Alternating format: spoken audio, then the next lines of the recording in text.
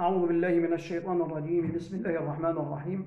الحمد لله رب العالمين والصلاة والسلام على حبيبنا محمد صلى الله عليه وسلم وعلى آله وصحبه ومن سار على دربه واستنى بسنته إلى يوم الدين. أما بعد طلاب الأعزاء نلتقي في الجزء الثاني من المحاضرة الخامسة لنكمل فيها ما تبقى من سورة القارعة وصلنا إلى قوله تعالى فأما من ثقلت موازينه فهو في عيشة راضية. الفاء حرف عطف مبني لا محل له من الإعراب. أما حرف شرط غير جازم مبني لا محل له من الإعراب. وننبه من الآن أن جملة جواب الشرط غير الجازم لا محل لها من الإعراب. ومن هذه الحروف التي للشرط غير الجازمة مثل لو لولا وهكذا.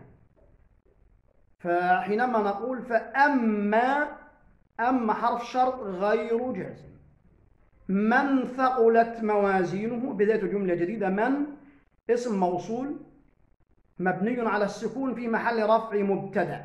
إذا إعراب من؟ مبتدأ.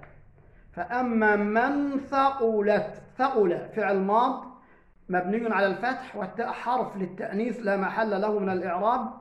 موازينه. موازين الموازين هي التي ثقلت. إذا موازينه فاعل. مرفوع علامة رفعه الضمة الظاهرة على آخره. والهاء ضمير متصل. اتصل باسم أم بفعل؟ اتصل باسم. وعندنا قاعدة تقول كل ضمير اتصل بالاسم فالضمير مضاف إليه. إذا موازينه الهاء ضمير متصل مبني على الضم في محل جر مضاف إليه. فأما من ثقلت موازينه فهو في عيشة راضية. الفاء حرف واقع في جواب الشرط. لا محل له من الإعراب. هو ضمير متصل مبني على الفتح. لا محل له من ال... ضمير متصل مبني على الفتح في محل رفع مبتدأ. هو في عيشة راضية.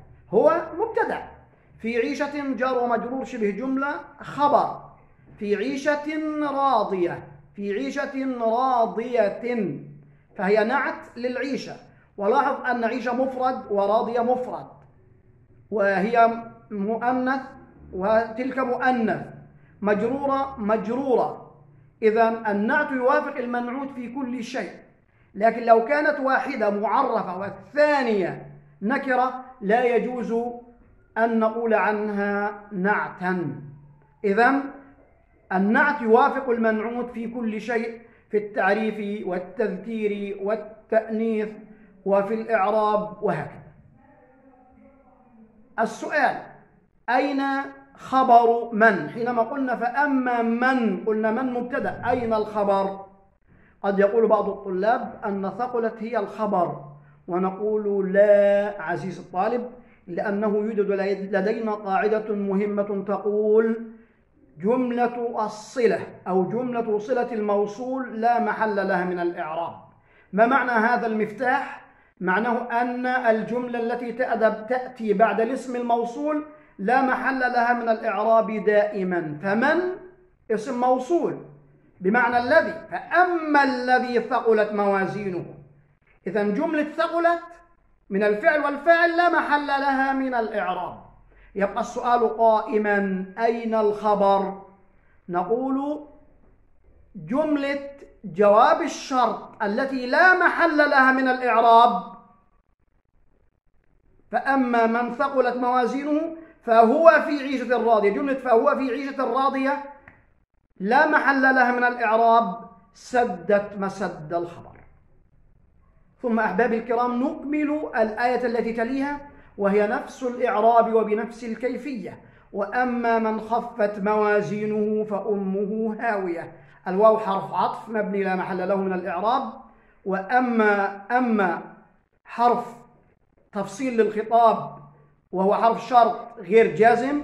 وأما من خفت موازينه من مبتدأ خفت فعل وفاعل موازينه هي الفاعل. الهاء ضمير متصل مبني في محل جر مضاف إليه والجملة التي بعد الاسم الموصول جملة الصلة لا محل لها من الإعراب.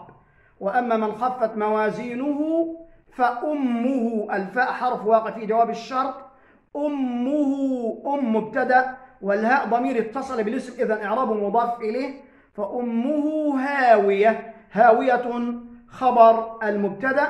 وجملة جواب الشرط غير الجازم لا محل لها من الإعراب سدت مسد الخبر أو أغنت عن الخبر.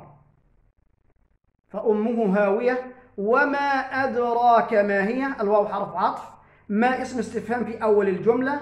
أدرى أعربناها من قبل أنها فعل وفاعل والجملة المكونة من المبتدأ والخبر.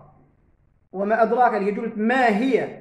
هذه الجملة سدت مسد المفعول الثاني والثالث. وما أدراك ما هي؟